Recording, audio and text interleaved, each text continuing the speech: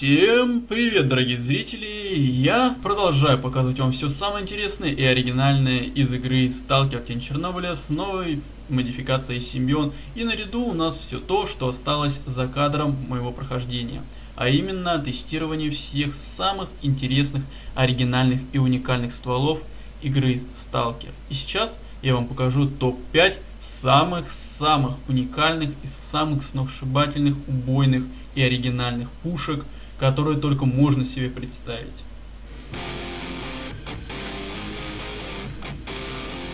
Ну и замыкает нашу пятерку сверхуникальный, оригинальный и очень необычный гаусс-пистолет, который существует в этой игре в единственном экземпляре у ученых.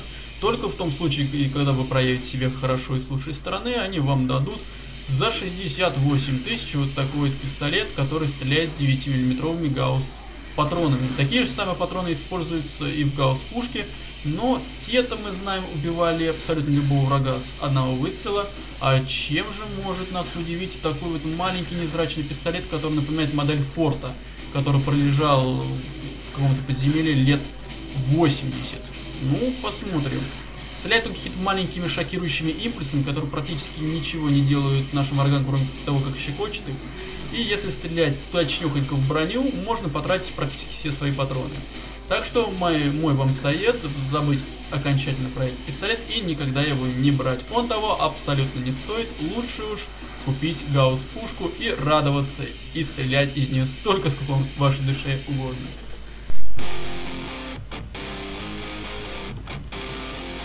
Четвертое место среди самых уникальных и оригинальных стволов зоны по праву достается супергаус пушки, которую мы можем купить также в бункере ученых после того, как завершим всю цепочку, связанную с ними. Самая оригинальная и самая необычная черта этой пушки является в том, что она каждую секунду облучает вас по максимуму радиации. Вы с этим сделать ничего не сможете, даже будучи в самом крутом и суперзащищенном от радиации костюме. А самая необычная фишка в том, что стрелять из нее в принципе невозможно.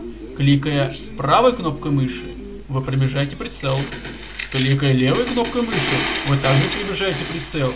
Так что же с ней делать вы уходите? А ничего, просто облучаться и помирать.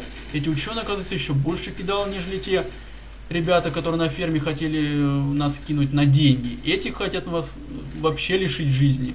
Мало того, что она стоит 120 тысяч, так она еще попросту вредит вам. То ли дело обычная гаусс-пушка, которая мало того, что стоит значительно дешевле, так еще и умеет стрелять. Причем не обычными патронами, так еще и патронами, которые выковали с помощью аномалии гравии. И проверим сейчас на прочность головы этих зомбаков. Естественно, ничего противопоставить нам не могут. И пушка, естественно, что надо. Так что не ведитесь на красивое название, а покупайте то, что вам и так хорошо известно. И это вас точно не подведет. Третье место среди самых уникальных пушек в игре Сталкер по праву занимает Гроза ОЦ, переделанная под ручной огнемет, стреляющая струей огня напалма. Сейчас мы посмотрим, сколько эффективен огонь в игре Сталкер. Ведь до этого ни одна модификация нас не сетовала такими прекрасными огнеметами. Насколько они прекрасны? Что можно сказать, расход топлива колоссальный, а эффективность крайне мала. Интересно, можно ли использовать то горючее, которое мы найдем в э, локациях, либо же нет, неизвестно.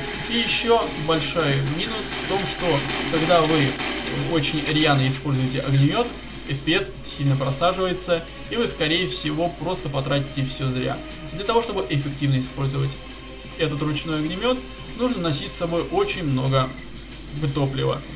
Но я считаю, что это очень оригинально, очень необычно, очень прикольно. И, по крайней мере, за это заслуживает, пожалуй, что свое законное третье место бронза достается нашему ручному огнемету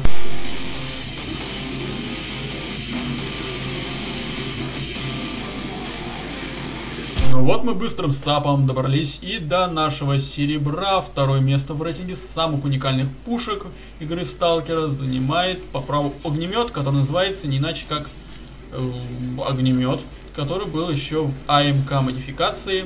И посмотрим, насколько эффективен он. Ну что можно сказать, гораздо больший урон наносит противникам струя огня этого огнемета, нежели ручного. Сжигает просто мгновенно. 150 горючего в одном баллоне помогает нам расправляться с огромными толпами, даже, казалось бы, таких хорошо бронированных целей, как зомбированные сталкеры. Поэтому этот огнемет можно использовать вполне для обычной игры и для зачистки лаборатории X16. Я думаю, что он подойдет как нельзя кстати. Второе место заслужено.